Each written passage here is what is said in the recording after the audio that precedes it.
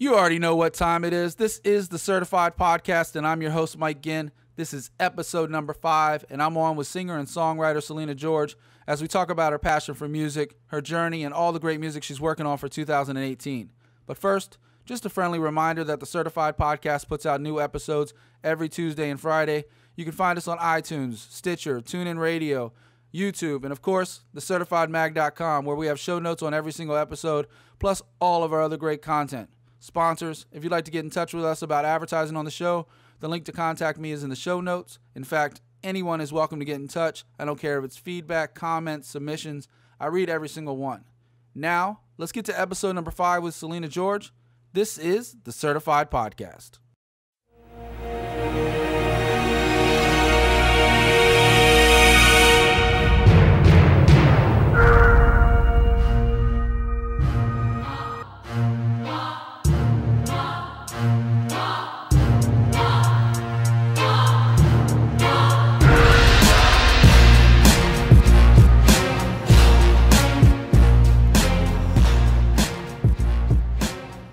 Everybody, welcome to the Certified Podcast. This episode, I am joined by DMV's own, the beautiful and talented Selina George. Selina, how are you today? I'm doing well. Hi, everybody. Um, doing well, Mike. Thanks for having me. Yeah, no doubt. Uh, I've known you for a couple years now, but most people might be just getting to know you. Uh, I see uh, constantly you're always putting out new music, so that's always great way to kind of get exposure to yourself. Um, but for people that don't know you, um, why don't you take a second and uh, let everybody know a little bit about yourself? Sure. So, uh, my name is Selina. Um, I'm from Rockville, Maryland, and I'm uh, I'm an artist by way of music. So, pretty much, I, I I write, I sing and songwrite. I write my own music, um, and uh, my sound can be, I guess, comparatively described as a, a cross blend of R&B and indie with some soul influence. Um, and lately, a little, to, lately a little bit yeah. of hip hop, hip hop influence too. I and, saw a, and a little bit of hip hop. I, I, I, I, saw that pop up too. I thought that was pretty cool. Yeah, I mean, I don't. It's funny because I don't consider myself to be a rapper at all, but like lyrically, it's just something that comes really, really naturally to me um, just I guess rhyming and speaking fast. so I've yeah I've, I've done some hip hop tracks. Well, all, are, all, music, all music is kind of fun. poetry in some way, right?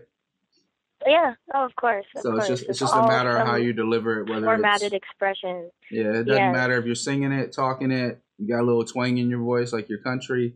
Uh, yeah, it, it doesn't really matter. It's all you know. When it's on paper, it all kind of looks the same, right? So um, yeah, it's just mm-hmm. your just your delivery and uh, mm-hmm. I remember when when you first told me that you were a singer. Uh, I looked pretty foolish because I doubted you, um, and maybe, maybe, everybody does in the beginning. Well, you're kind of unassuming. You're this small, like little package, and then I remember the first time you sang for me, and I was just blown away because this big, bold voice came out of this small, tiny oh, I girl. I remember that. I do remember that. I, I was like, that, "You're yeah. not." I was like, "You're not a singer. Stop it!" And, and you know, yeah. I, I've been in this industry forever, and but you didn't really, you know, you, you don't really assume the people that you know are those kind of people because you just take it for granted. Sure. I guess, especially the closer sure. you are to people. Um, but yeah, the first time you sang for me, you just blew me away because your voice was so bold so big. Well, thank you. Thank and you. then, of course, I since then over the last couple years, I've seen you really kind of go through ups and downs. I've been trying but you've gotten evolve. a lot more exposure. Oh, yeah. You've gotten a lot more exposure, oh, yeah. but um, so it's nice to see you out there. I've seen you perform at different venues, especially throughout DC. Uh, I've sure. seen I've seen you drop a number of new music religiously, uh, whether it's through your YouTube page, uh, and all those all those links will be on the show notes for everybody to to get a hold of. But uh, yeah, YouTube, uh, SoundCloud, uh, whatever other platform people can usually find you on, yeah. you have so much new music constantly all coming out. Yeah, I mean you got to right. You got to get your name out yeah. everywhere. Same with the podcast, like I have it everywhere. So uh, if you can find it, it it's there. I mean, it's not hiding. um, but yeah, so we are talking about like how your sound kind of goes different mm-hmm. directions, but and, and it's kind of it is kind of hard to put you in a, in a genre, right? Well, yeah, and that's uh, that's like all intentional because I feel like as an artist, you know, if you put yourself into a box, then you get comfortable being in that box, and then you stop kind of, you know, pushing yourself to try to try different things. And um, I don't think that's not how I like to do, you know, music and create. So I don't really attach myself to a particular label or sound or style because it's always susceptible to change. Like I was listening to country music yesterday, and I was like, you know what? I might want to try, which, but I probably won't go in this direction. Country, because you know it's, I wouldn't uh, put it past something I haven't done before, but you know, it's it. I could if I wanted to. If I wanted to wake up and do country music, it's something that I could do. Just like how, you know, I went from doing acoustic to hip hop in the matter of a year, or two years. So it, it's you know, it, it really just depends on my mood and how I'm feeling. But the one thing that I can say that is consistent with you know the music that I put out is it is genuine. It's very genuine. It comes from a very genuine place. So that's always a key component. Well, yeah. I mean, I've mm-hmm. always noticed a lot of your stories, a, a lot of your lyrics, I should say. I mean, all lyrics are stories, but uh, a lot of a lot of your lyrics are very personal. Uh, whether it's your experiences in life, and I Oh, find yeah. I find like most good music throughout history has always been somebody telling their own tale, right? And even if Right. you, even if you look something more modern, uh, you can look to a you know a John Mayer album or go even Mhm. further, Taylor Swift, right? How much money has she made off singing about her exes? Um, Millions, I know. This girl's got it down to a science. You got Uh, it down yeah. to a science. You better Her- not break her heart. yeah, her, Katy Perry, like all of them, Rihanna, um, all of them, Yeah. tend, all of them tend to sing about, yeah, people that broke their heart, basically. Uh, whether they'll, mask it a little bit, but you can tell the personal note to some of their best songs because those are the ones they care about. They're singing them most passionately. Um, yeah, yeah. And I don't, I don't know which dummy broke your heart, but I noticed. Oh, the, I mean, I, noticed the I've been like. around the block a, a few times, so Now, now, no, you you haven't. know, But, it, uh, it happens. It what the last like six months to a year, you've been really putting out a new vibe that I've really been digging. Um, uh, especially Thank the you. last the last few months when you've kind of like gotten back into putting more music out and, and I don't Yeah. know necessarily more music, but m- more of that vibe, more no, of that took more I of that took a energy. break for a while. Yeah, more of that I energy. so I was going through some some pretty tough stuff, so I took a break. But definitely getting back into music is helping me to recover and you know figure out what stories I want to tell next. Because I think I'm just about done with love for a while. I think I'm I think it's I think funny I'm you said. t- I think it's funny you said take a break. Your your version your version of a break is a lot different than most people's versions of break. You took like a couple weeks off, like like most most people And take like me, years off. You took like maybe like literally. dude. I think the last track you had out was like maybe you took maybe like five or six months off, but like most people take To me, years that's way off. but- too long. Yeah, yeah, Um, yeah. but you're still really young. You know what? 22, 23? Twenty three. Yeah. Yeah. So yeah, I mean, you're still real young. So you taking a break isn't something that's bad. Sometimes it's good to get a little perspective. I, f- I found you know you can sit there and You have to, yeah, you have to. I mean, in order for like your soul to truly heal, sometimes or whatever, to get more insight into into your own life, you have to be okay with just taking time to figure things out and like gauge what the heck's going on. Well, whoever he was, he- I'm sure he sure he was an idiot because he's gonna look back when you're making millions of dollars and be like, damn, Oh, she was singing about it's me. all good. It's all good. Uh, like I said, same as Taylor Swift. I'm sure like some of the people are like, how dare she say that about me? Shit, she made millions off my off my story. It's all Uh, good. but nah, it, it also definitely lends to your attitude lately. The attitude change I've seen in you lately has been really positive. You're like you really kind of turned it up a notch lately. So I'm really looking forward to the new music you have coming out soon. Uh, Thank you. yeah, because when you go through these periods that I've seen over the last couple of years, the music that follows is usually pretty intense. It's pretty good. Um, so I- Thank you, Mike. yeah. So, what you talking about? Maybe like even possibly playing around and doing a country song. What is next for you? What is uh kind of going into the future for you? Because the last thing I see, what the last thing you dropped was what the forgiveness song. Um, Yeah, that was the last song that I put out. and then um, Go ahead. I'm sorry. And then, oh, no, no, no, no worries. But for the future, honestly, I think I'm trying to uh, start my own business. I think I'm thinking about getting my own label going because um, it's been on my agenda to you know get signed, and I really want a record deal, but I think I have it in me to just kind of do it myself because you know I built my own home studio, which is where I produce and record the majority of my music. Some of it is like tracks off of YouTube, but the stuff that I take most seriously is the stuff that I hand make myself.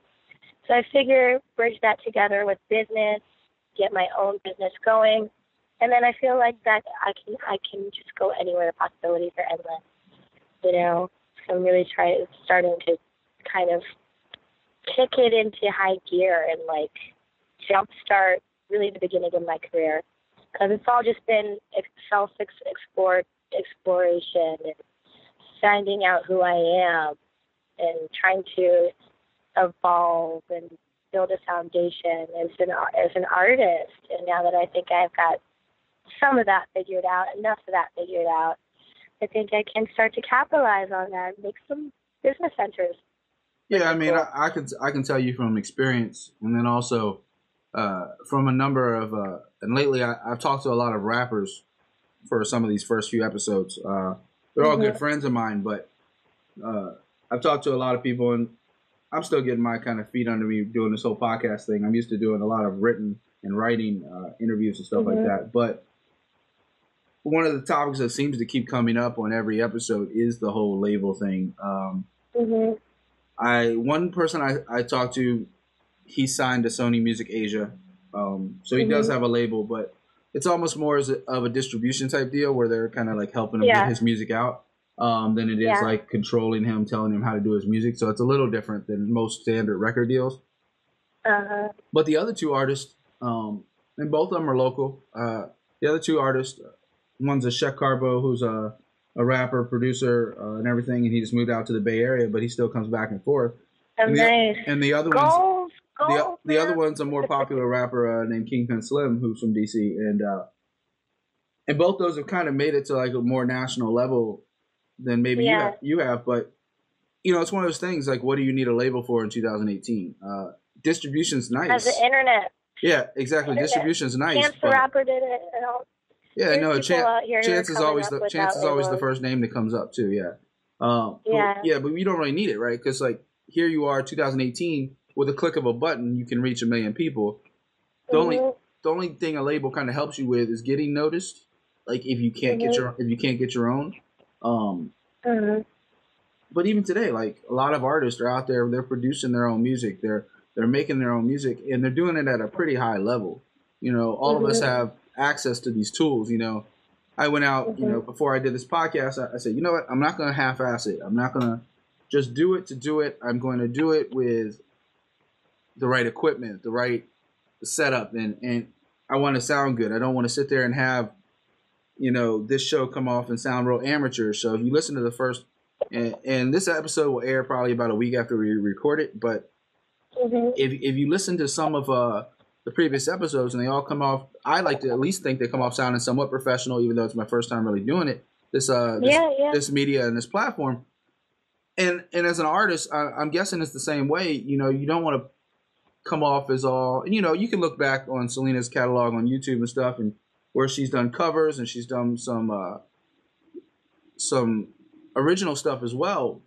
And you can see the evolution from the beginning to now of how much, you know, more professional everything looks. And the more experience you to round back to you, the more experience that you get, I'm sure yeah. there there's not really much need for a label in 2018. There's not much need if you can sit there. I mean, it would be nice. It, I don't really know how how how things will play out because I do have you know other options where I could go in the direction of potentially you know a, a, a label, but I don't know. There's part of me that thinks that I should kind of just really try to do it by my own. You know, I don't I don't know why, but it's just like let's see if I can do it. Let's There's nothing wrong with that. Yeah. Do it. Everybody do wants it. to be their own boss, right? Um, yeah, man, and that that's exactly what it is. I think. And then also, You also 100% of the money, right? You don't want to split it with somebody when you're doing all the work. So It would be nice to keep to keep the uh to keep all the profits. It would be nice. You always have Although to pay somebody for like distribution and stuff like that, but Yeah, yeah. nobody's in it for the money. But it's nice when you get it. Mhm. if, if- I, I kind of heard what you kind of slipped in there. You're not in it for the money, uh, and, and that's the best thing, you know. Um, when people are just recording because they love what they do, um, Mhm. and if you're passionate enough about what you do, which there's no doubt, if you listen to your catalog and you listen to everything you've done from playing playing on, you know, oh. playing all your own music. Uh, you know, I saw the one video where you like made your own beat, which was you know you developing into even another direction. You know, because because that's what it starts off, right? Like back in the day when I first Yeah. started doing web design and other stuff, you know, I didn't have any idea what I was doing, but you know what? I played with it, I played with it, and all of a sudden now I'm really good at it. You know, Yeah, So, man. you gotta start somewhere with a passion. awesome? yeah, with a passion. That, isn't that dope? That's like the dopest. That's awesome. People are capable of so much. Like we can do anything that we feel like doing. It just takes a little bit of involved effort. Everybody's got to start somewhere. I mean, you look at some of the biggest producers on the planet; they didn't start by just all of a sudden going to the studio one day and throwing together a dope track. Nah, it was Right, like they a little started- teeny tiny keyboard in your mama's basement, and that's Right. it. Yeah. You know, push a button a couple times. Oh, that sounds cool. Let me push a couple more. Yeah. Oh, look there. Because uh, I'll tell you straight up, like, I sat there and took uh, Yeah. a free loop uh, that was available and a couple other free loops, and I, and I blended this together and, and took some bass and like I'm not a I'm not a producer by any means. Uh, I'm decent with audio, um, much more Yeah. than I am video, which is why all these podcasts are coming out audio to begin with, at least. Um, plus, it's just easier to get people on a phone than it is to get people on a video chat. Um, Yeah. but you know, I I did the- intro and the outro for all the for all the podcasts, you know, and it's one of those things like you start off playing with it, and all of a sudden, you know, hey, oh, that sounds pretty dope, and, and you just learn, and Yeah. especially, especially when it comes to your music, because you know what music sounds like, you know what good music sounds like. You've been doing this for a while, so yeah, it's just a natural Mhm. progression of you growing not only as as a person but as an artist. You know, Yes, yes. And most importantly, as a person, most importantly, because I get really, I just get confused sometimes and the two kind of overlap. So I was going through a period where I was Selina George, but then I wasn't Selina, like, and I just forgot who I was. And that wasn't really healthy. So, you know, it's also good to separate yourself sometimes from your art, or it can completely consume you and drive you absolutely mad. Yeah, well, not to call myself not. old, but you're 23. You Yeah. tr- trust me. When I was 23, I was all over the map too. Um, I, I was. yeah, it's you- a bit you- crazy. It's a bit I mean, crazy. that you're I, 20. I, will- I will let people know a little behind the curtain. Selina's definitely crazy. She she's a wild wild person. Um, but but you you do know, have. I have my moments. I got, I got my moments. well, if anybody wants to go look on a, a there's a certain YouTube video I just came across today of a day in the life of Selina George. So there there is no question about those moments, but um, especially your little rap in that video uh, about your about your tush and, and your other parts. Um, oh my god! I don't know if I should take that down or not. I don't. I don't think I don't I don't think you should. I think I think it's pretty. uh, just leave it there. it's authentic, right? Hey, It- it is who you it hey is who you world, are. I got multiple personalities. Yeah, you're right. I mean, how much money did Nicki Minaj make off multiple personalities? So there you oh go. my god, there's Um, facts right there. you don't have multiple personalities. You just have one slightly uh, energetic. Let's let's use the word energetic. Um, slightly Yeah. energetic personality. Um, I'm a wild card. yeah, I, I've seen you kind of come into a room and just kind of just just bounce, just, just every like you you seem to always. I mean, I we all have our ups and downs, but I I've seen most of the time I've ever seen you, you just have a lot of energy. Um, That's that is that is very true. That is very true. So it's it seems pretty easy for you to come in the room, light up everybody with a smile, and be like, "Hey, I'm here," and you know, Mm, thank this, you. It's this little unass- I just try to put out positivity. yeah, it's just a little unassuming girl feeling- comes in and like just makes the whole room go bright. So that's definitely a good trait to have for your music and for your life in general, not Dude, just thank music. you so much. Thank you so much. Yeah, most definitely. Um, and I did live up to my promise. Everybody, I told her two years ago that when whenever this they talk about breaks, right? I I, mm-hmm. I talked about this two years ago about possibly doing this what I'm doing now, and then life mm-hmm. just life just kind of got in the way for a little bit and got away from me. But um, mm-hmm. yeah, no, yeah, I lived up my promise. I got her on the show. I told her I was like, hey, I was like, thank you for keeping to your promise because I totally appreciate that, and I appreciate you. I yeah, appreciate you having me. It's yeah, no really doubt. nice for me. And you know, I, I, tell people this all the time. Like, I don't just put people on because, oh, you know, Selina's my friend. Let me give her, you know, five minutes of fame. No, I put them on because I think the world really wants to see you. Like, I think I love giving people spotlight, but at the same time, you have to have some talent. You have to have some skill. I'm not going to sit there and put my name on the line for somebody that. Right. You, know, you better. Yeah. And you better be able to walk the, the talk. So when I send people to to you know SoundCloud.com slash Selina X George, like I want people to like, oh shit, I see what you're talking about, and that will definitely there's, feel there's some no doubt. Way. And your YouTube link's a little longer for me just to shout out because it's like some big code, but um, uh, thanks to YouTube for making everything difficult for everybody with it with their I know. their URLs. It took me forever to like get just the uh, YouTube.com slash certified mag, but they made it even harder for that now. I don't know if you've noticed, but now like to get signed up as a YouTube uh, to monetize YouTube, you have to have mm-hmm. at least ten thousand views. So I see people can get that probably after like maybe you hope after like several episodes or something or several videos. Um, mm-hmm. But nobody can like just start off right now making money on YouTube like they used to. Like before, you can be like, yeah, monetize my thing, go an ad on my video, go ahead. Yeah, because everyone's you, just doing you, it. So. You may even accidentally make eighty bucks. Um, yeah. Remember, remember, one time my sister went on a, not to expose her too much because she's actually not embarrassed by this at all. So I have to tell the story. But uh, her and a friend one summer when they were in uh, high school went around because uh, her friend mother worked for Verizon up uh, higher up in Verizon, and they went around basically following the entire Jonas Brothers tour across. Oh, that sounds awesome. Across the country, so they were going to like.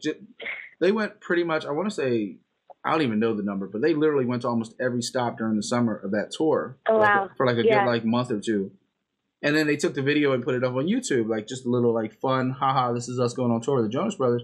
And yeah, I, I don't have the link offhand, but I, I know it's still available and still up there, and she still makes a little bit of money off of it. I mean, the first time yeah. she, she looked up at it, all of a sudden there was like 80 bucks sitting in her AdSense account just because she threw it up there. So that's cool. You know, especially if you're not meaning to make money off of it. Back in the day, you used to really mm-hmm. be, be able to make money off YouTube, and now they're they're trying to make it such a business because of their creators' channels and their YouTubers, if you will, that I feel mm-hmm. sometimes like artists kind of get left behind because people such as yourself that are putting out stuff all the time. You mm-hmm. know, how do you make? I'm money? definitely inconsistent with YouTube. Yeah, but it's, like, it's a great it's, platform. It's not the money for me. Yeah, I know nothing's about the money, but it's still a great platform, and it's nice when mm-hmm. you're putting in such work. If you can then all of a sudden turn around and be like, "Hey, here's an extra couple hundred bucks," because that can go a long way. That can. That's true. That can help you, you know, print out flyers for something or send out mm-hmm. promotional material for something to help get out your music and get the word out. So, you know, that mm-hmm. little that mm-hmm. little extra money here and there that you weren't, especially you weren't making it to make money. That's always a little bonus that you used to be able to get that now you have to work yeah. a little bit extra harder for. And just for yeah. the just for the record, YouTube, I am trying to make money. I'm just gonna put that out there. this is a business. um, but yeah, so let's talk a little bit about some of the music you've put out, uh, other than your Vanity Fair hip hop album, uh, hip hop track that you put out, which which was dope. Mm-hmm. I, I, listened to it. I, I, started laughing at first because I'm not used to hearing you, of all people, start spitting rhymes. But but I thought it was cool. And, but I I know and I come with it. I was just feeling so. I think that song. Um, I, I guess wrote you're little, but you're morning. a little, you're a little badass. Like you, you come in with such bold voice. It's like Oh, I know. I got it's just because of it's because life, man. I was like at a party the night before, and it was just like people were just going on me and like side dissing me, and I was like, okay, you know what?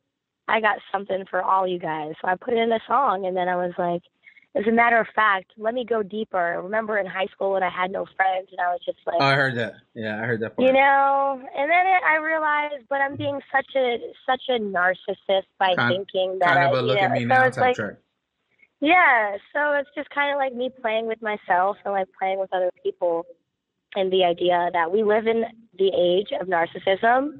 I honestly think that like narcissism is a disease nowadays, and everyone's so vain, and it's like get over yourself. Like look in the mirror, be real with yourself. You're human. You you do the same human things that everybody else does. So nothing separates you from other people. It's kind of 50 50, though. You still have to have confidence in yourself. Oh, yeah, but confidence and like cockiness. it's a thin line. tell me. It's, it's a thin line, and it's hard for people to some to go. Like completely different things. So you just got to be careful. You know, you just got to be careful. Most definitely. No, I, I, think I it's a thin line. Careful. I think all of us do. I get it. I mean, for a yeah. long time, uh, I know a lot of people would say Mike is cocky or Mike is an asshole or or this and that, and you know, and it never meant for me to come across that way, but it's just you know I'm blunt. Yeah, sure, of I'm, course not. I'm blunt, and I care a lot about what I do. And when you when you have those yeah. combinations, sometimes you can be a little bit, you know, rub people the wrong way. Sometimes I guess is probably the best yeah. way to put it. But but when you believe in yourself, you know, yeah, you, you, have to. Doubt, and when you believe in yourself, other people will believe in you. That can come across, and you know the right people will support you. Who uh, who you know really are about what you're doing, and the ones who don't, then it's just brush the dirt off. You know what I'm saying? Yeah, and I can, I can only imagine being a, a female, because I guess guys have a little bit easier, right? Like we don't have as many stereotypes to have to live up to or stigmas that we have to overcome. Whereas a female, well, you have to be ladylike, or you have to be this, or you have to be that. And I hate and, that. I totally hate that because yeah. on a personal level, I mean, just in life, you know, I can see how people already put expectations on me because I am a woman and because I'm black. So it's like I'm met with a lot of, you know, just preconceived notions from people who don't even know me. And my favorite thing about music, one of my favorite things, is being able to cut through all that crap and just be like, no, I'm Selina. This is who I am. This is what I mean. And yeah, I don't care what your opinions are of me. I'm going to express myself in a way that I feel I, I that I want to, and um, that can be is come across however it can come across however it can be unladylike, it can be uncouth, it can be it can be ladylike sometimes. It can be very proper, but there's definitely no black or white. You know, it's just I can tell you firsthand, as, as somebody raising a daughter, uh, it, it's a it's a, a, challenge. I mean, she's only nine now, but every day, you know, I tell her all the time the same thing that you tell grown ups because you have to learn it at an yeah. early age. Like sometimes she'll come home and she'll be like, you know, so and so doesn't like me, or so and so didn't like something oh, I, did, I did, yeah. right? And as as a father, yeah. you're you're kind of over the top protective of, of your baby girl, and I'm sure your dad is of yours of you. Um, oh yeah. yeah. Uh, we've had those jokes before. Like I've joked about telling your dad about something, and um, don't worry, Dad, she's a saint sometimes. um, but you know, like I, I joke, I, I joke about that, but in all seriousness, you know, it's hard because you know I tell her all the time. I was like, she's like, why don't people sometimes, you know, because every kid goes through bullying and everything else, and you, you know, your your hip hop song talked about, mm-hmm. you know, look at me now, right? Um, because you guys didn't mm-hmm. didn't respect me or didn't treat me nice when you knew me back then or whatever, uh, in hip hop in high school and everything else, and um. Mm-hmm.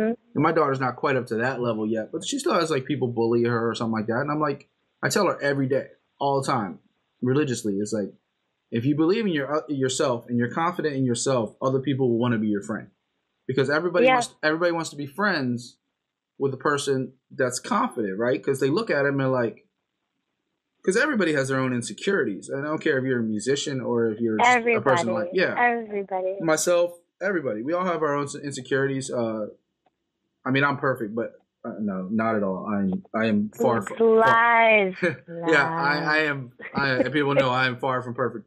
Um, but everybody has their own insecurities, and you know, you tell somebody and you know, come back to you a little bit. Like you tell somebody like, hey, it, you know, like you see that person in the room that everybody wants to be friends with.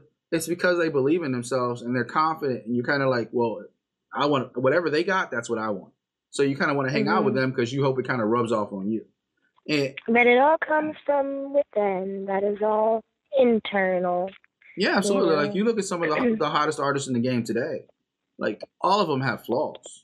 Like I don't care if Mhm. it's Jay Z. Like Jay Z just made an entire album talking about his flaws and how he cheated on his wife and how everything else, and he just put it out there for the whole world to see. Um, Yeah.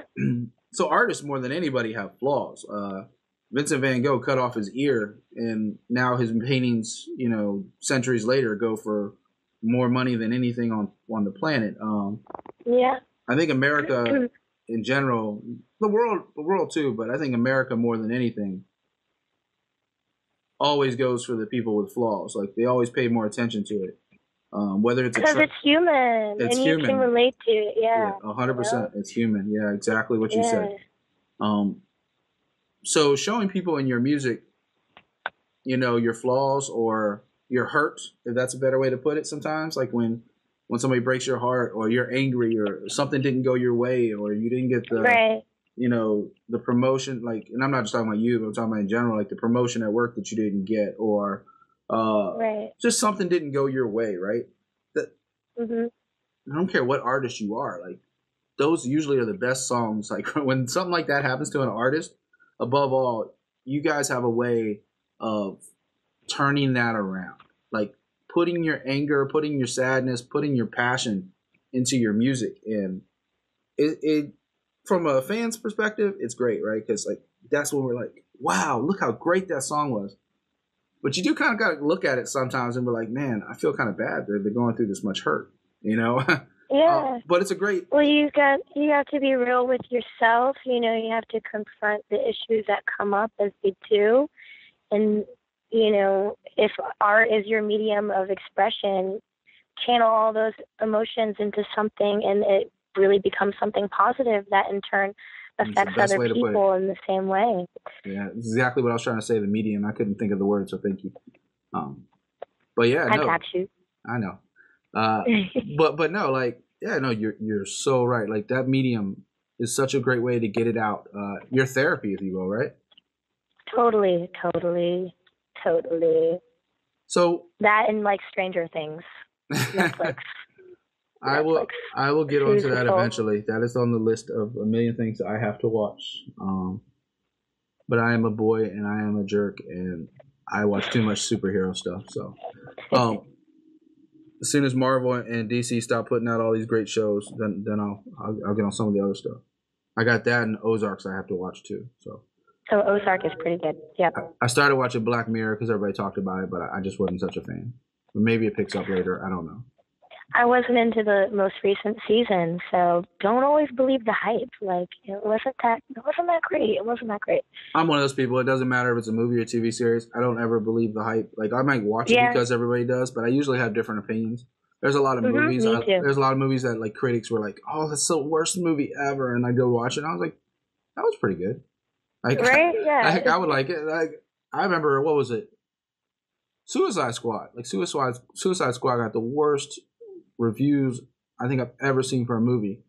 And Mhm. me and my wife went in and watched it, and we both came out of it like, like we could see like some of the flaws that the critics were talking about, but I thought Mhm. I thought it was a pretty fun movie to watch. Like, thought the Harley Quinn character was awesome. it. I thought Will I- Smith's character I'm- was awesome, I enjoyed it. Yeah. and then the Because Spanish Harley Quinn yeah, it. yeah, she that movie made Harley Quinn a household name again. So the promotion and the and the merchandise from that, I'm sure Warner Brothers was like, you can hate it all you want. Uh, we just made a lot But we money. cashed in on you. Yeah. Like you said, like you said, it's not about the money, but it is about the money, Yeah, and especially with major companies. It definitely, it definitely made buku bucks out that one.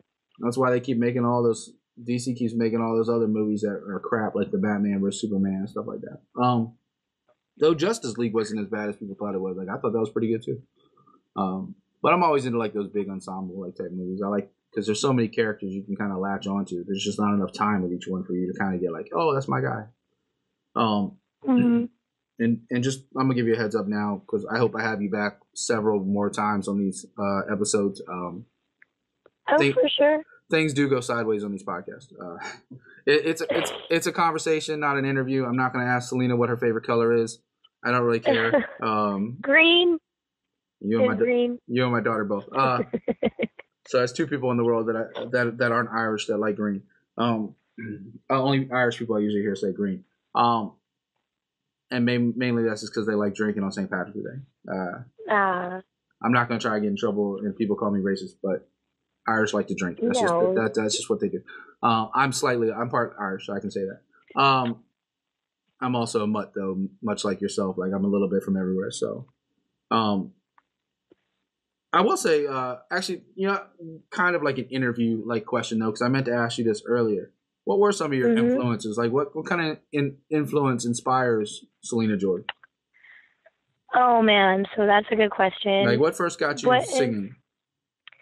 what first got me into music? Yeah, what what first got you into singing, oh. music? Yeah, in general. Like, what what's like the first time you like sat down like I want to do that? So the first time that I guess I just did it, you know, spontaneously without really thinking about it was when I was a kid uh, piano lessons. I started taking piano lessons when I was like eight or nine, and I would write songs just for fun. But it wasn't until I came back home from college, my freshman year of college, it was a very, very difficult year for me.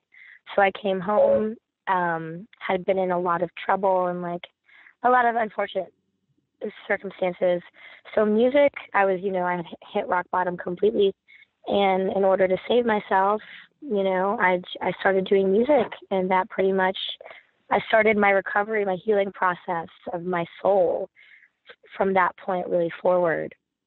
And ever since then, it's just been music for me. It's and the the inspirations come daily from that, like from life, from conversations with people. Like this conversation we're having right now is hella inspiring to me. Um, it well, can you. be anything. It can be anything. Yeah, yeah. So so any just about anything. So you get inspiration out of life. Uh, that's obvious. But uh, were there any like artists or anything that kind of like inspired you? Artists, um, Stevie Wonder, Jhené Aiko, Frank Ocean. Frank Ocean's a big one. Um, and then who else? I really, really, really like uh, Beyonce. I mean, Beyonce is everything to me, and I love this woman and she inspires me like when someone like Beyonce can come out and say, I've had my heart broken, I've been through X amount of pain and still be as strong as she is, that to me is incredible. And I love her for that. So yeah, she's she's a big one. But um also Michael Jackson, Motown artists, uh, uh, Berry Gordy. I'm surprised Michael wasn't the first person you said because if you go to, I think it's your It's one of your oh, pages. Oh, SoundCloud, and he's right there. Yeah, he's like right there at the top. Yeah, like that's your that's your cover picture. So I got posters of him all over my wall. He's like Michael Jackson is like a big brother to me. I feel like I grew up with him in a way because I literally did. I remember that's always amazing. That's always amazing. Video. Yeah, he's uh he's when a younger person such as yourself, that just shows you that just shows you how timeless an artist is. Like when a younger person exactly. such as yourself, because he's been passed away now for God, God, it? it's it's been I want to say eight or nine years, maybe. I was gonna say yeah, what 2008, 2010, some. At now, least, yeah, at least eight years. Now, eight now, years. now I'm gonna have to look this up, but uh, great thing about technology, right? Like you can look up something in, in just a, a, quick second, and I don't want to like you know say it wrong. So 2009. Uh, so yeah, he's been gone now eight and a half years. Uh, June 2009. Uh, you know, God bless his soul despite what you think about Mike, yeah, despite what like people think about is his uh his public persona, uh his music is timeless. Um you know, I grew up on Michael Jackson more so than you because like that was my that, that, that, that was my era, you know. Uh I remember yeah. especially like in the 80s and 90s like the Michael Jackson song came on, like everybody stopped. They're like, "Wait, what? The Mike?" You know. I I, st- I still start whiling. I could hear it at work, you know, because we play timeless. music at work, or yeah. I could hear it anywhere. I just picks me right up. My favorite song um, is actually the Jackson Five. It's by the Jackson Five. It's my favorite song in the whole entire world. It's "Blame It on the Boogie" by Jackson Five, and yeah. this song, there is magic. There's and all all music possesses a certain quality, you know, of just something because you're literally breathing life into something. You know, music is it is is life, it's movement, it's vibes. But blame it on the boogie. It just no, it's like it's my song. That's just my song. That is my song, and it. Yeah, I mean, there's there's so many timeless classics from the Jackson Five to Michael's early category. Like I'll still hear uh, "Beat It," and I'll I'll still be like excited when I hear it because I remember Yeah. that song. I kind of have more of like a childhood memory of. Like I remember when I was little, that just was like the track that always got me. You know, I remember the video Yeah. where he was dancing on the different like lights and like it just So it, it, al- it always It's captured me. so So whenever whenever I hear that track, like my my brain just goes back to being a child. Um, Yeah. and you know, you talk about Michael. You talk. I had a conversation. Uh, one of the last shows I recorded where we were talking about uh, uh, Biggie, um, Notorious B.I.G. Mhm. And we Michael's a little different because he had an entire career before he passed away. You know, Mhm. whereas Biggie, he didn't have time to kind of go down, right? He just he made a couple Mhm. timeless classics, and he never had a chi- chance to like. Every artist, if you perform long enough, there's a track where you're like, it's watered down, right? It's not. It's not going to be as good as the other tracks that everybody remembers, you know. Yeah, of course, of course. Um, I'm more hip hop oriented, so most of my references are usually hip hop. But if you look at Eminem, like he just came out with an album, and half that album is fire, but the other half of it, you're kind of like maybe you made too many tracks this time. Maybe you should have cut it back. I Uh, haven't peeped. Okay, I haven't it- peeped yet. It- but it's not it's not bad. It's not bad Eminem, but it's not his best. And when you put such a level, of- yeah. like Michael Jackson, his his catalog is so timeless. But there's a few Yeah. there's a few songs in there you kind of, especially towards the end when he was trying to like experiment a little bit, I guess you would say. Um, Yeah. trying to like evolve his sound into because you know there's some songs out there, especially after he passed away, that came out and were released post. Uh, I always butcher this word, humorously, um, uh, humorous. Uh, I can never say it, but post death. Um, trying to be a little Mhm. little smarter than I am, but uh, a little a little post death.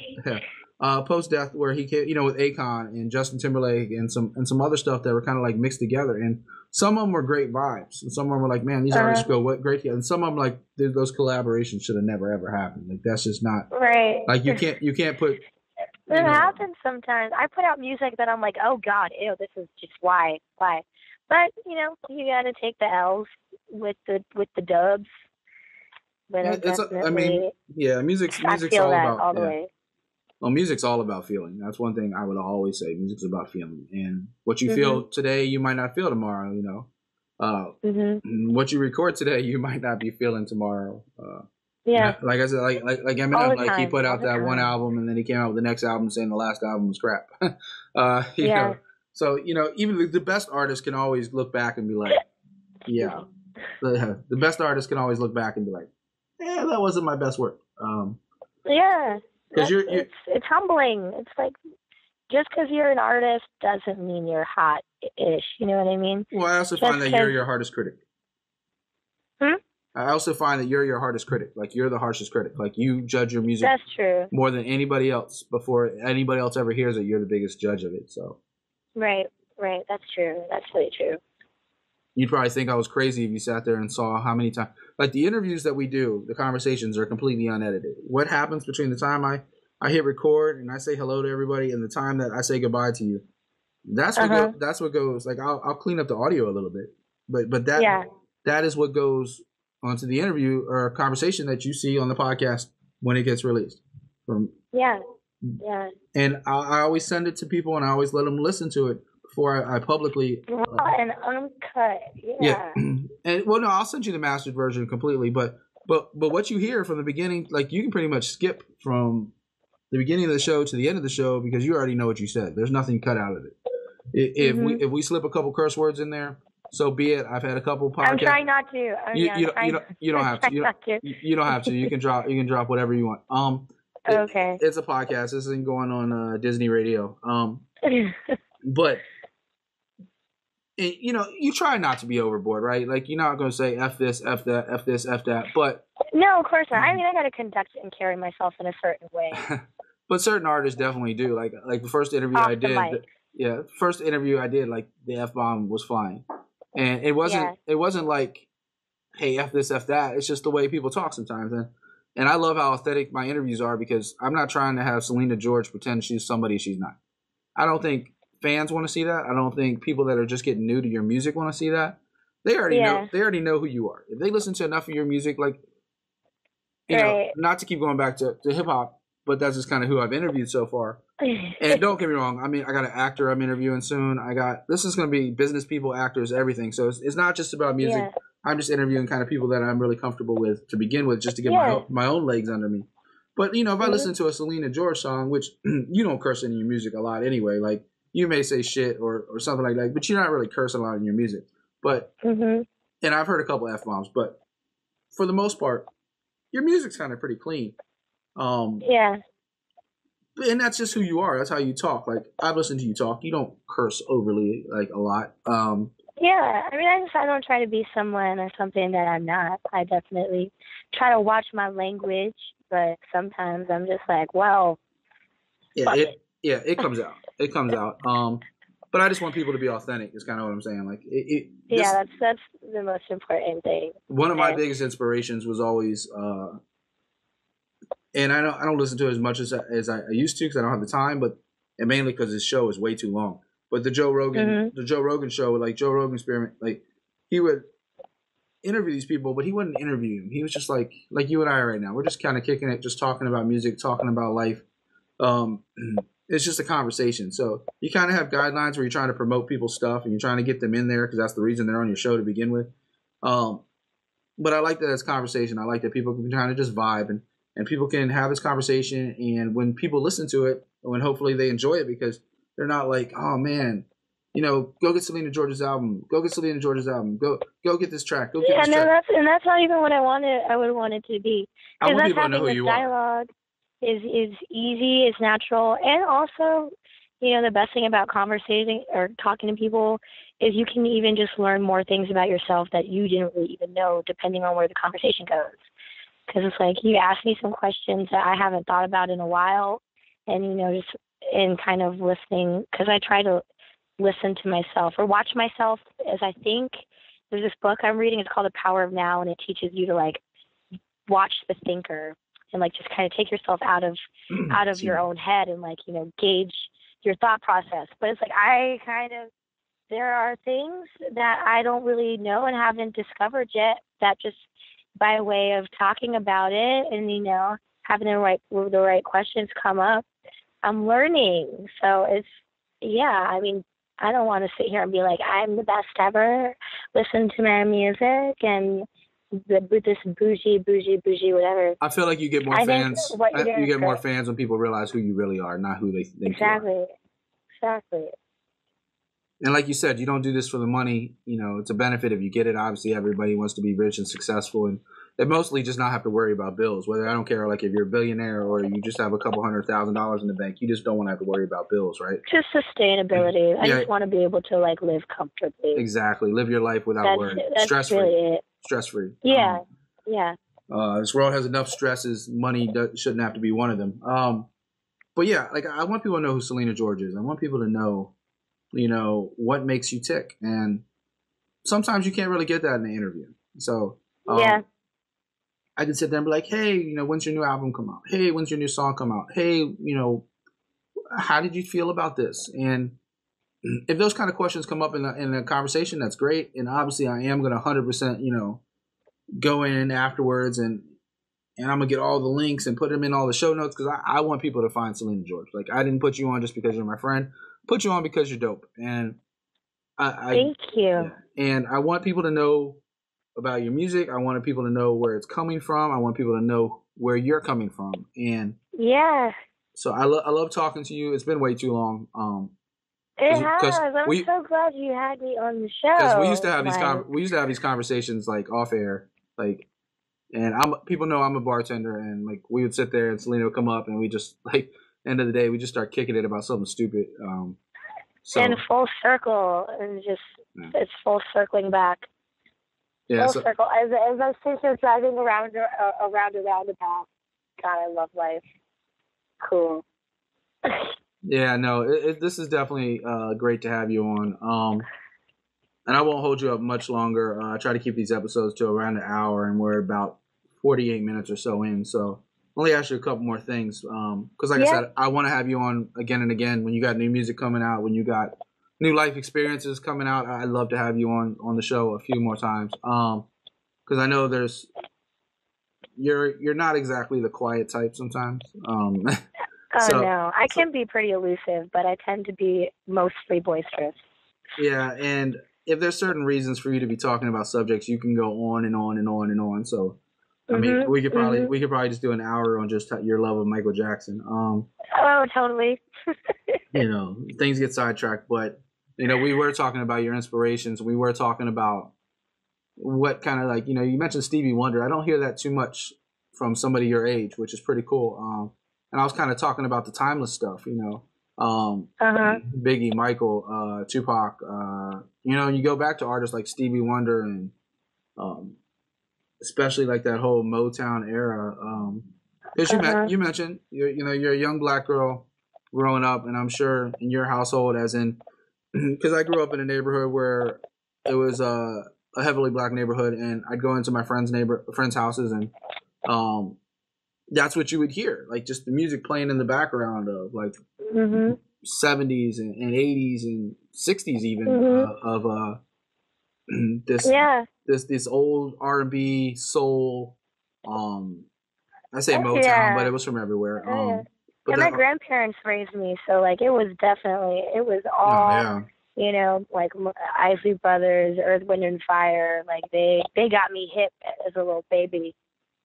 You know. And you know I didn't want to say that before but like now that you mention it like if I listen to some of your music I can see that influence It's there. It's like there. especially the Earth Wind and. Fire one Like subconscious. I love Earth, Wind and Fire. Oh my god. Love like September. If I'm ever low and I put on September and just like the first just intro that trumpet introduction. It was like da da da da da and it like you know it just boom. I feel better. I just feel better. It's funny because there was a concert they had at the I keep wanting to say Verizon, but the Capital One Arena um, Yeah. a couple months ago. Uh, it may even be back as far as like September, but sometime in the last few months they were there. And, oh, I hope so. I need to see them live. well, no. I'm talking about the past. They were just there. I'm sure they'll come back, but you know they were there, and one of my uh, friends who's also a bartender in the industry, um, and not to call him out on air, but he's not the most hip like white guy. Um, Okay. That's, but oh, but him totally him and his, him and his him and his boss uh, they worked at a restaurant that worked that was down the street from where I was working downtown. Um, yeah. they went to the show and they came in afterwards and I was joking with him. I was like, "Man, what do you know about Earth, Wind, and Fire?" Because he's like this. I don't know exactly how old he is, but late twenties, early thirties, um, Mhm. just like white guy, and and he doesn't carry himself as like the most like hip. I guess is probably the, the polite way to put it.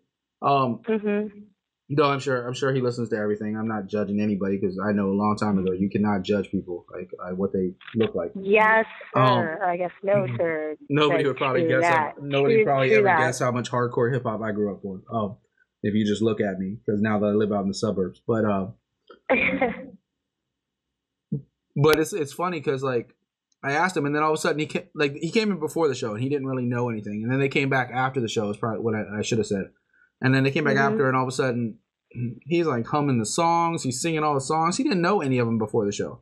Like his boss Mhm. did, and he thought it was a cool thing to like go out to a concert for a night because he's like, you know, hey, his boss got tickets to the show, let's go. And then he came back and he was just such a fan, and it was so like yeah, man. I tell people like Earth, Wind, and Fire, like it gets your you. life. I remember Change listening to, and this is way before you, but I remember listening to Donnie Simpson in the morning, and every morning before I'd go to school, this is way back when Yeah. I was in high school, um, before you were born. Uh, like every every morning I'd get up and, and go to school, and Donnie, I'd have to listen to the radio while I'm getting ready in the morning. And back in the day, WPGC, and Donnie Simpson would be on in the morning, and they always play all this Earth, Wind, and Fire, and man, Mhm. it would just get my day started right. Like I wasn't the best kid in high school. I missed a lot of days, and I was driving my my mom crazy. I'm sure. Um, but Mhm. yeah, but I mean, we all we all develop and all grow. Um, but Mhm. some of us are a pain in the ass when we're younger. Mom, I'm I sorry. was. Yeah, mom, Yeah. I'm sorry. Um, but yeah, like he, when the days I did get up and go, I probably should say, uh, yeah, Donnie Simpson would play it, and like, man, you just hear Earth, Wind, and Fire, and how could you not be in a good mood walking out of the house after listening to that? right, right. So I definitely see some of that influence in some of your music. You know, um, you got any new music coming out soon? I do. I have like a catalog of a million songs that I've pretty much been rotating through. That I really want to release. But it's funny because I'm on a completely different page now than I have been the last few weeks, days even. So I'm kind of just um as opposed to just putting out a song here, a song there, a song there.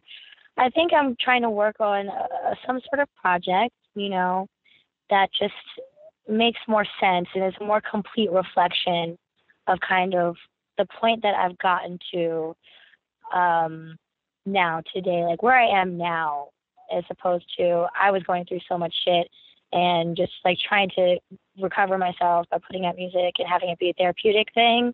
You know, I want to put out a project where it's it just makes sense. So probably, you know, in the next couple of months I'll have something like really, really something that I've thought about just on a deeper level um, that people can actually kind of see where where I've what I've been through and where I've come to.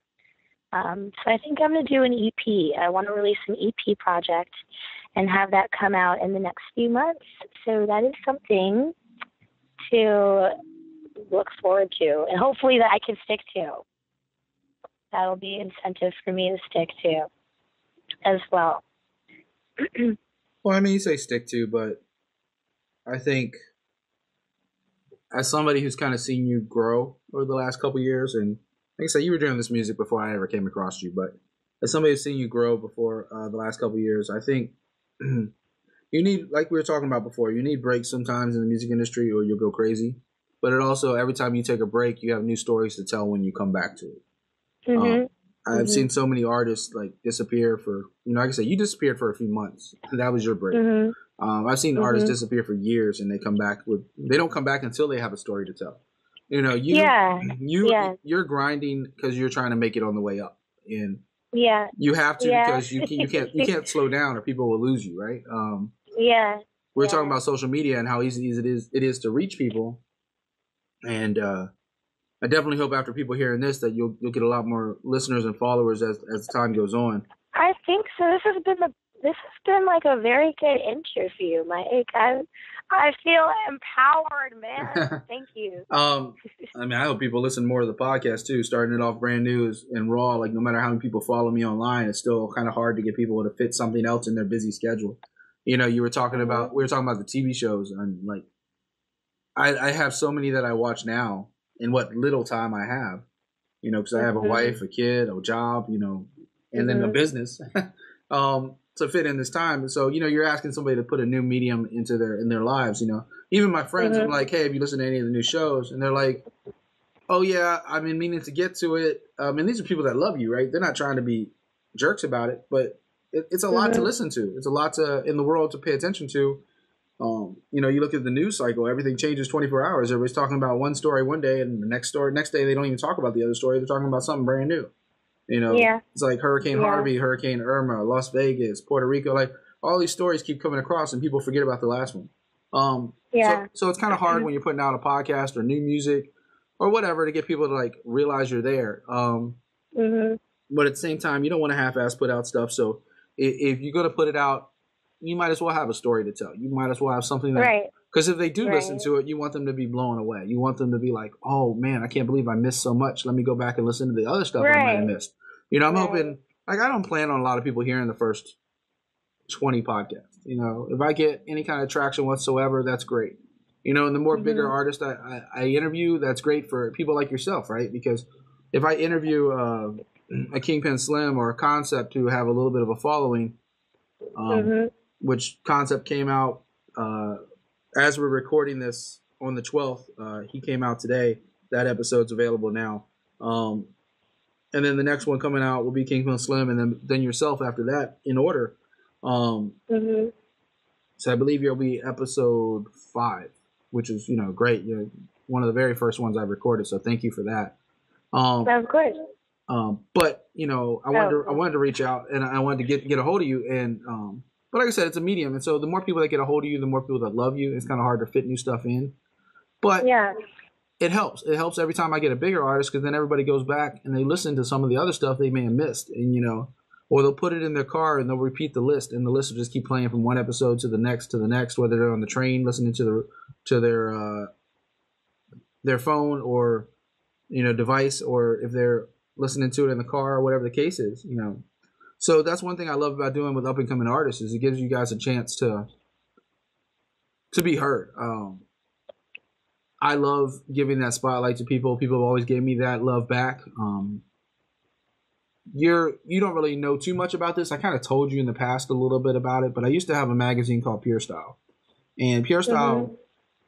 was started in 2007 and it ran for a number of years it would have hiatuses where it come and go. And then I've done it a couple other projects like Ambition Lifestyle and DCXIV since then.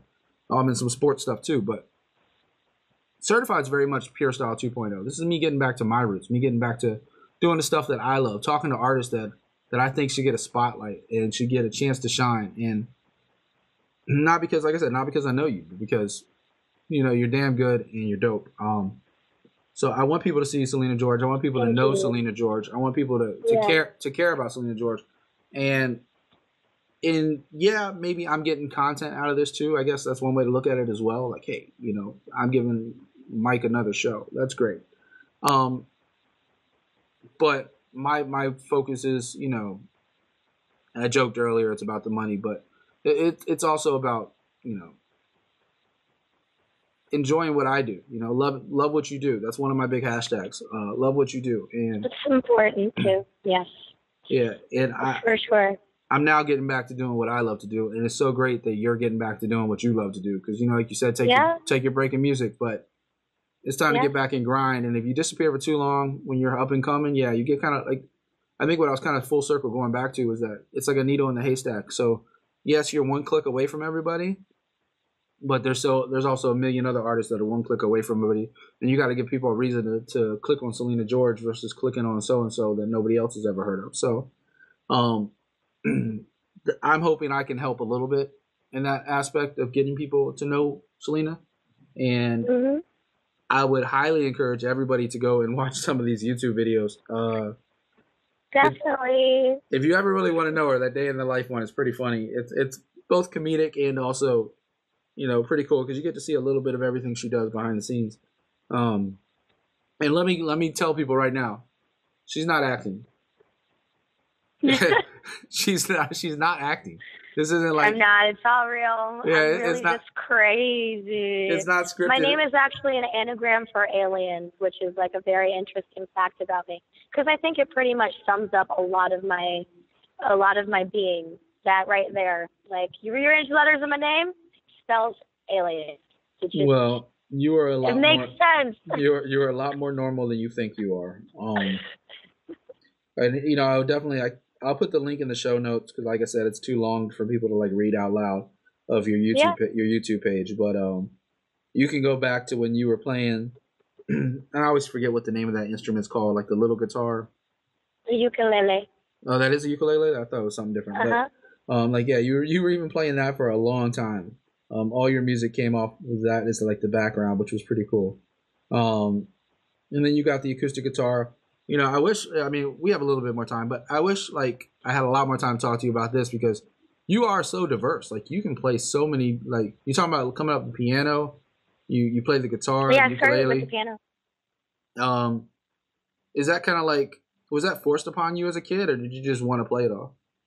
Um, and, and you know what? In the beginning, it kind of was. Well, no, I won't say it was forced, but it was encouraged. Like my grandparents, they they raised me the first eight years of my life, um, and they just wanted me to have every opportunity that I could.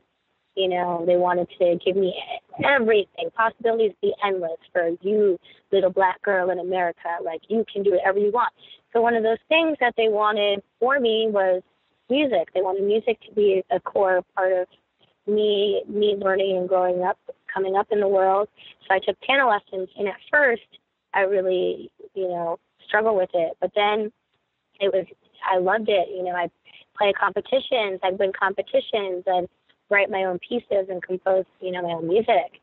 Um, and that really opened my mind. It gave me confidence. It gave me an edge, you know, which is something that I could do, that I was pretty good at and that I loved. And from that love later developed into something that I take so seriously and is like such a, an important piece of, of me. Like without that piece, I don't know. Without, I wouldn't be the same artist that I am. You know, it would suck to me if I was just someone who could who just sang, or if I was just someone who could write.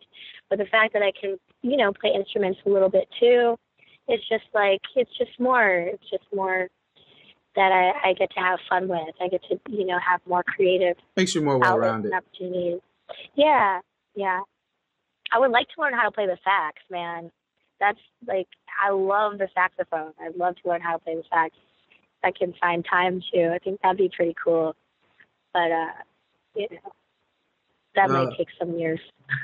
um, I've seen people play the sax. It so there's a difference, right? Playing the sax versus being good at it. Um, uh-huh. Like I can pick up a guitar and I I can play a couple chords, but I can't play the guitar. Like I I know how to like strum a few notes, right? Um, right.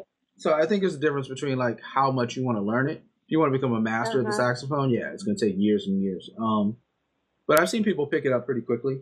Um, it, it really depends if you have like a wind instrument background, I guess. Like if you ever came up and played like the clarinet or the flute. I did play the clarinet actually the for a year. I yeah. was terrible at it. You might be I terrible so at, bad it. at it. You might be terrible the at it. The band teacher was like, "Don't you don't do this next year." So it was one you might, year. And you might stuff. be terrible at it, but what I was kind of getting at is because you have that background, you at least kind of yeah. you at least kind of know where the notes are, right? Like like uh-huh. if you picked it up, you uh-huh. you might. And now that you have a more musical background, years later, like I'm sure it, it'd probably be even easier for you to pick it up and play it now because you'd be like, oh, like these notes make sense to me now. Whereas before you were just like blowing into the instrument and it came out noise, right? mm-hmm. uh, I'm, I'm terrified the day my daughter comes home with a, a flute or a clarinet. Um, she tried to do the violin, but she could she could that was just too much. that was too much for her. She didn't make it through the whole year with that one. Um, I think she just hated carrying the big thing around all the time. Um, because she she's nine, she's still tiny. Um, she, she she like I was like she had to carry that. Plus, her like every year the book bags get bigger and bigger with books and everything else. And I'm like, yeah, that's true. She that's she true. does she does not want to carry all that um, on a daily basis. You got to get one of the ones with the wheels, one of the rollies. They need to get them lockers. Like, like I, I, yeah. I, I, can't wait till she gets to like middle school or something else where she has lockers and she just doesn't have to bring all that stuff home every day. Yeah. Um, I mean, they're getting more mature as the kids get older. It's kind of crazy. Like I look back when I was a kid, and even when you were a kid, and now this this generation is even like different. You know, every generation is, but it's like I, I can't believe in 2018 that every book isn't available just on like a Google Chromebook. Like they all get these Google Chromebooks to use, and I'm like, isn't everything on mm-hmm. on that? Why do they still have to bring stuff home? like, should, can't they just do all their homework on that? Why just just let them rent it for the year and then give it back to the end of the year? Um, but I'm sure technology is heading that way. Um, and technology's been great because you know now everybody can click on a, a, SoundCloud or click on a YouTube and find Selina, uh, mm-hmm. find some of her great. You know, she's done. You know, tell people now. You know, Selina's done a lot of great covers. Um, but and those are probably some of the more click through videos that you have on YouTube if you look at the view counts. Just because I'm sure mm-hmm. people are looking up, you know, looking up uh, Justin Bieber or looking up uh, Demi Lovato or one of the other covers you've done. Um, and your name probably just pops up randomly because it's a cover of such a song that they were looking for. Um, mm-hmm. But as I was kind of saying, like the bigger artist draws you into the little artist um, it's great to get you exposure, right? So when you go click on one of those links and then you click around Selina, and all of a sudden you see some of these original uh, ensembles uh, that she puts together, some of these original songs, and you're like, damn, this girl's talented. So I really hope this podcast uh, opens some people's eyes to Selina George. Uh, it's been great talking yes, to you, great you. catching up to you. We definitely need to do this thank way, you. way more often. Uh, I do miss having your uh your your crazy around me. Uh, it's always fun. Keeps me away, keeps a smile on everybody's face that's in the room when you're around. So I'll have to get up to where you're at now and say hi to you someday soon. You're gonna have to let me know Definitely. when, when you're Definitely. when you're working around there. Um, but and then when other people I don't want to see are there, you gotta let me know that too, because then I might pop in.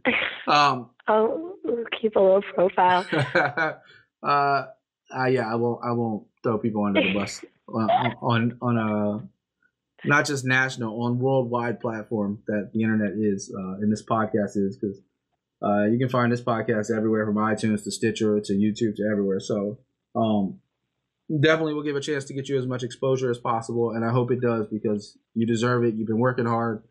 Uh, I'm not gonna say I'm proud of you because quite honestly, you did this all on your own, with or without me oh, or anybody dude, else. So, you. so that's Thank awesome to so see you much. See you accomplish and to see you keep growing. I hope you do continue growing. I hope you definitely reach out to uh, not just myself, but certified, Of course, I'll be certified, back. in- I'll be back on the show. yeah, no, certified in general because I would love to feature some of your new music when it comes out. Uh, we do do. Yeah. The, I am bringing one of the old features I had from from Ambition and, and, and Pure Style and everything else was called uh, listening session. I'm 100% bringing listening session back where I like will showcase up and coming artists. Whether it's like if you have an EP, especially, I would love to put like the EP, especially if it's on like SoundCloud and it's like a free download and stuff like that. Like I, I, Mm-hmm. would- I would love to like just put that on the website. Let the people listen to it. Let them download it if they want. Um, and like I love giving that exposure. That's awesome. I love putting out these free albums um, because it definitely allows people to, to see people they've never seen before. So, and uh, hopefully by the time this one airs, I've said this before, all the old archives will be up. I'm still working on it. You're talking about going back 11 years of stuff. Um, uh, trying to get all that on the certified website so people can find all the old archives available to them. Uh, but no, uh, I will let you go. Um, but I definitely want to say thank you for coming on. I appreciate it. I hope people got to know a little bit more about you, a little bit more about your crazy, if, as you put it. Um, but your music's beautiful, and I am you. happy to know that I can sit there and hit you up. But I'm even happier to know I know where to find all your music. So I'm going to. Uh, you got it, dude. You yeah. got it. Thank you So- for having me. Absolutely. There will be links to everything in the show notes. Um, Selina will make sure I get anything that I, I forgot. Um, real quick, though, do you want to tell people where they can find you before I let you go? Um, yeah, sure. SoundCloud, SoundCloud, SoundCloud.com slash Selina hyphen X hyphen George. You can listen and buy um, my EP. Actually, I put out an EP project towards the beginning of summer. It's called Eclipse. Pretty cool. It's on iTunes, Spotify, Tidal, and all that. Just Selina George, Selina George across the board. Um, yeah, and follow or I have a website, SelinaGeorgeMusic.com. I got a little blog that I just upstarted if you want to, you know, just keep up with the Joneses of my life. So uh, thank you again, Mike, for having me. I do appreciate it, Uh, it's 100% my pleasure. and much success. You know, much success to you. I like what I love what you're doing. All right. Well, same to you as I well. appreciate it. Selina, it's been great talking to you. I will talk to you soon. You have a good one. I will talk to you soon. All right. And we're out.